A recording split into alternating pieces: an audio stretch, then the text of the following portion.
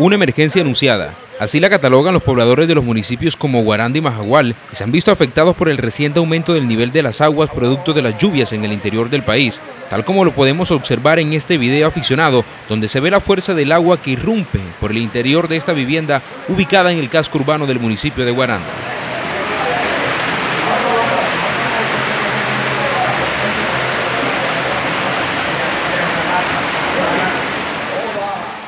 La situación parece encrudecerse cada vez más debido a que las poblaciones de departamentos como Bolívar y Antioquia también han resultado inundadas.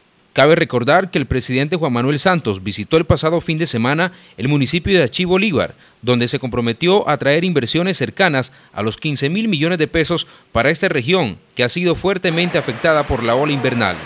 En lo que va corrido del año 2016, la zona corregimental de los municipios de La Mojana Sucreña ha sido la principal afectada con las inundaciones. Telenoticias para estar bien informado.